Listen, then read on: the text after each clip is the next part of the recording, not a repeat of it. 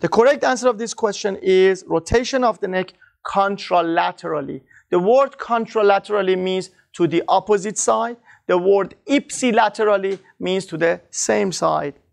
The action of SCM or sternocleidomastoid, as we know, sternocleidomastoid has two heads. One head starts from sternum, starts from center, and goes up to the neck here.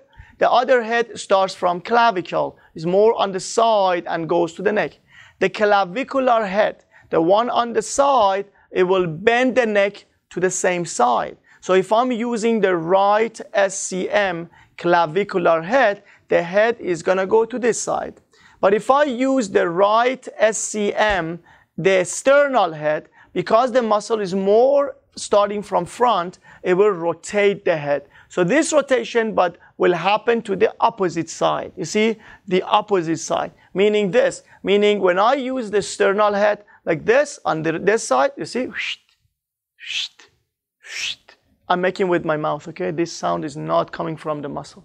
So, so I have the movement of the neck to the opposite side. So if they ask you the, the job of or the action of the clavicular head, the answer is what? The answer is the lateral flexion to the same side or ipsilateral.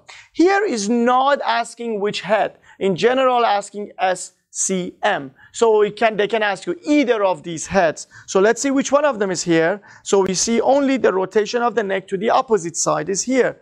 But the elevation of the shoulder is not the job of this muscle. Generally, upper trapezius and levator scapula, they do this, they, they do this job. Um, elevation of the ribs 1 and 2, elevation of the ribs of 1 and 2 is performed by scalene muscles. Scalene muscles are the muscles that start from lateral side of the neck. There is three of them, anterior, middle, posterior. They are connected to the ribs 1 and 2. When we have a very deep breath, like this, these muscles can lift the rib 1 and 2, which is helping for deep breath. Rotation of the neck ipsilaterally, it means rotation of the neck to the same side. As I showed to you, rotation of the neck to the opposite side, this what is it, what we are expecting from the SCM.